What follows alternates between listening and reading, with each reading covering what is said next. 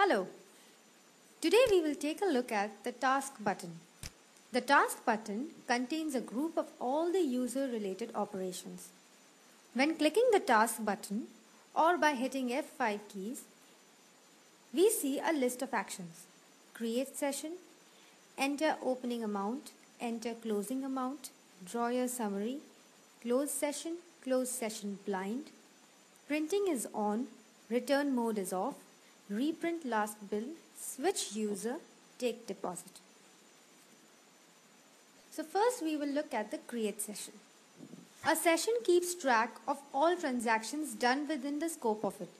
Where multi-shift POS operations are present, typically each cashier works in his own session and hands over the terminal to the next cashier by closing his session and transferring all cash balance to the next person. Ginesys POS does not allow any financially sensitive operation in the POS unless a session is created. We will now see how to create a session. We click the create session to create a new session. You would notice that the moment it is done, the previously disabled options are now automatically enabled.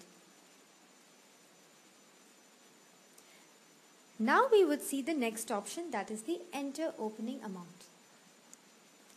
At the beginning of each session, the user will always have some cash in hand whether it is a carry forward from the last session or a new allocation from the HM. This amount needs to be reconciled at the end of the day. To do so, it needs to be recorded as the opening amount. To enter the opening amount, click the Enter Opening Amount option in the Task button. The Enter Opening Amount window opens up. Put in the amount and click on OK. Now we would see how we would insert the closing amount. To enter the closing amount, at the end of the session, click the Enter Closing Amount option in the Task button. The Enter Closing Amount window opens up. Enter the closing amount and click on OK. Now we would see the drawer summary.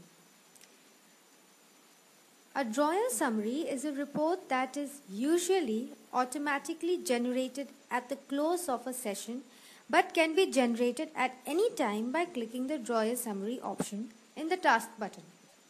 The drawer summary shows a summary of all the transactions at the terminal in the particular session and is used to tally the sales report at the end of the day.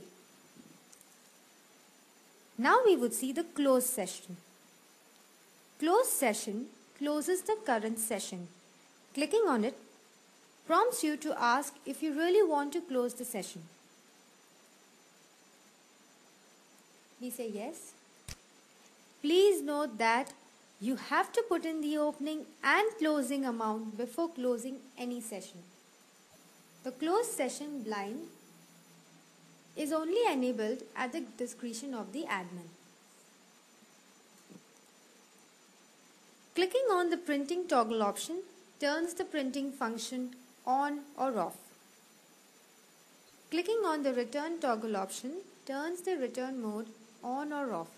Once turned on, the barcode of the item scanned or entered is marked for return.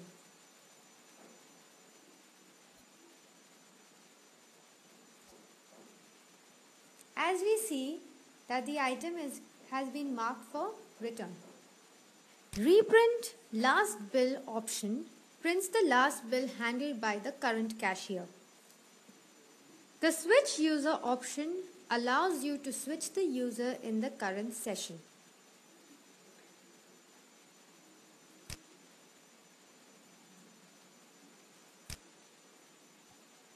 So we see that the user has been switched. The take deposit option allows you to take deposit against a customer. You would know more about this in the tutorials about how to take deposits. So we've gone through all the options in the task button.